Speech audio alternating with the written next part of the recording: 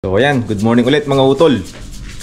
It's another Wednesday and pang panghapon na naman tayo ngayon so kailangan natin ulit magluto ng ating babaunin.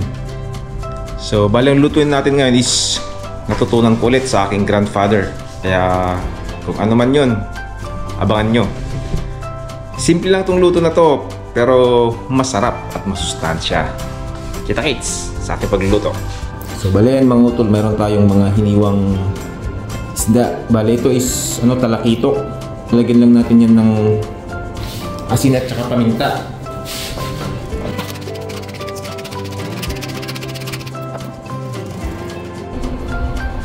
Ayan mga utol. Lutuin lang natin itong binabad nating isda kanina. So, binabad lang natin ito ng ano, ng salt and pepper.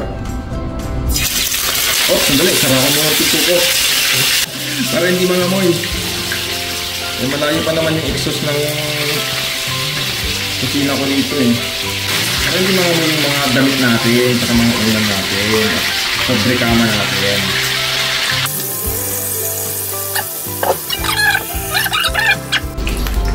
Na-check na muna natin yung triniprito natin, mga masunog.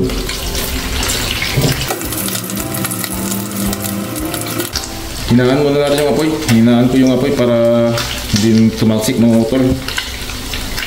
Ano, kalikit-likit na sila. Oh. Pero okay naman.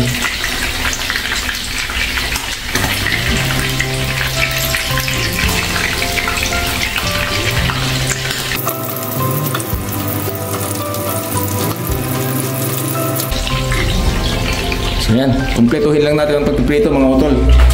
Saka natin sabay yung mga ibang ingredients natin. Natin ulit, yung ready na to. Na natin to. Isa na natin ang pagluluto. By the way, ang natin ngayon, ang recipe natin ngayon is cold laswa.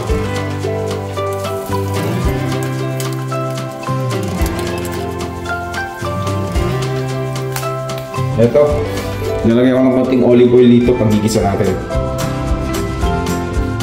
So bali ayan mga utol. Dinikdik ko lang yung bawang tapos kinap ko siya ng maliliit para mas madaling maluto. Ayan, ito natin gisa tong bawang muna. Para sa akin. Sa inyo, kahit ano.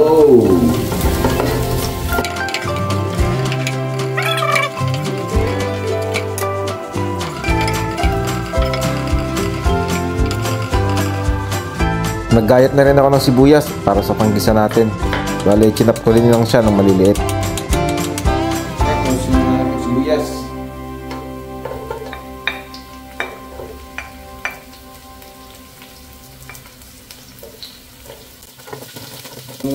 Balang recipe pala natin ngayon mga utol.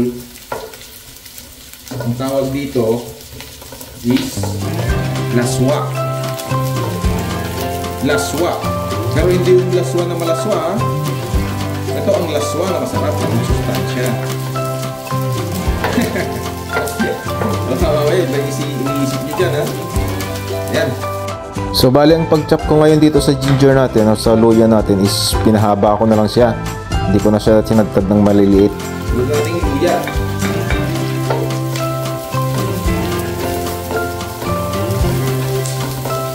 So, gaya ng nasabi ko kanina, bali ang recipe na to is natutunan ko ulit sa aking grandfather na taga Bisaya from Rojas City. Magagaling magluto, magagaling magluto mga taga Bisaya eh. And yung grandfather ko is from Rojas City. So, marami talaga akong natutunan sa kanya. Yan, ito. Sunod natin yung kamatis. Maghihiwa na rin tayo dito ng hinog na kamatis para sa panggisa natin mga utol.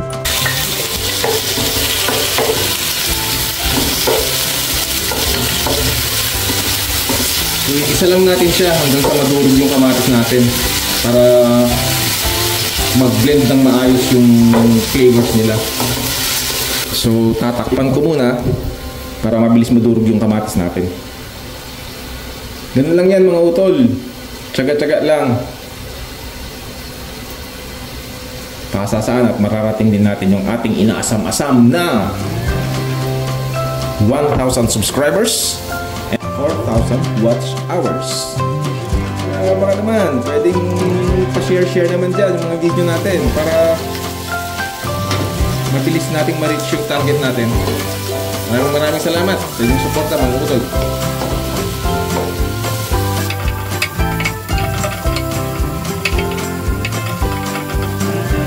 Originally, yung tikman ko yung ng lolo ko noon is kabuting saging. Pero since wala dito, sa Middle East, pwede na to. Button mushroom.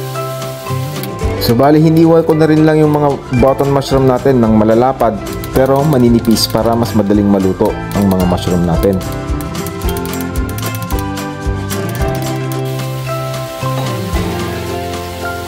Parehas din na mushroom yan.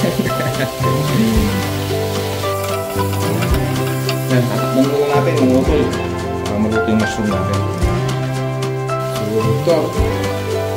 Meron tayo dito ang palaya. Ayan, naghiwa na rin ako ng ampalaya para dagdag natin sa ating sahog.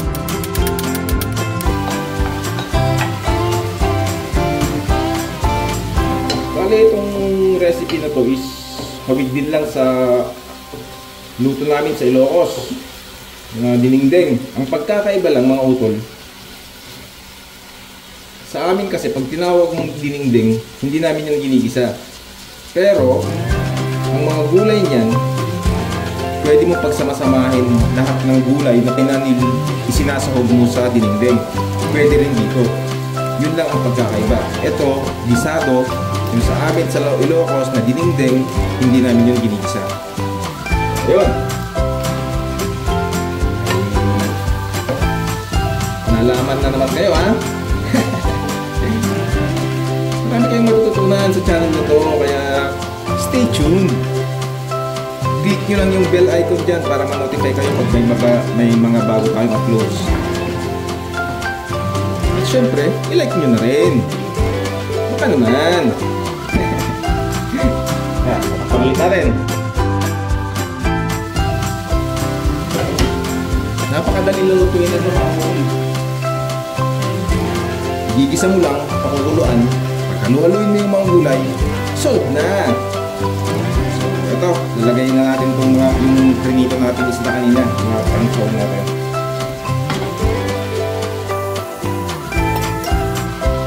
And, magdadagdag na rin tayo ng tubig. Paglalagay ng tubig, nasa sa inyo yan kung gaano nyo gusto, kung gaano karami yung sabaw na gusto nyo mga utol. Sa akin, konti lang siguro, ganyan lang, okay na yan. So yan, pakukulan lang natin. Pagluto na yung gulay natin, titimplahan na natin. At ang pantimpla natin dyan ay isang killer condiment. Killer sa sarap. Nakita nyo yung mamaya kung ano yun. So ayan, kumulo na mga utol. Titimplahan na natin to ng bagoong salted anchovies. Paano gusto nyo paano? Bugoong. Bago mo lagyan yan, tikman muna natin mga utol. Tikman muna natin kasi natatandaan nyo kanina, ubus na natin, naglagay tayo ng asin at pepper. Kaya dapat titikman mo muna to para alam mo kung gaano, matansya mo kung gaano karaming uh, bagoong ang ilalagay natin dyan.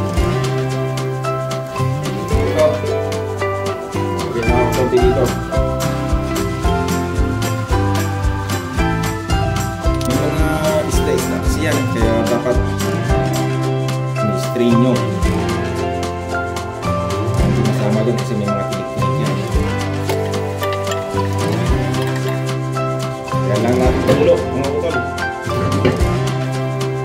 Ayan, bali titikman ulit natin kasi naglagay na tayo ng bagoong para alam natin kung kailangan natin magdagdag ng sabaw or pampaalat.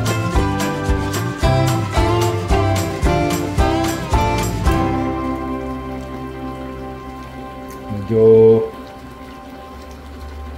kulang sa alat. So at this point, hindi na bagong dadagdag ko niyan. Dadagdag na ako ng asin. Bali magdadagdag ako dito ng konti asin mga utol kasi medyo natatabangan ako eh.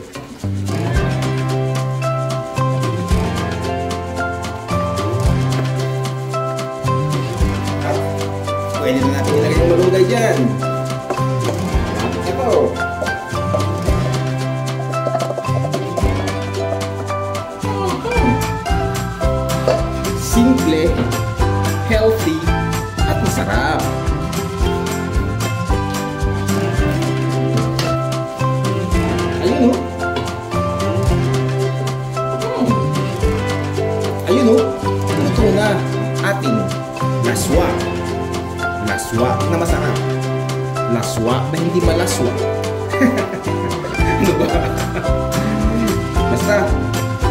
At sa mga sumusubaybay dati sa channel ko, alam niyo na kung anong gagawin natin dyan.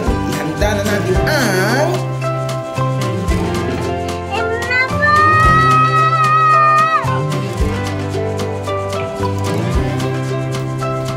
Tirahin na natin to habang mainit pa mga utol.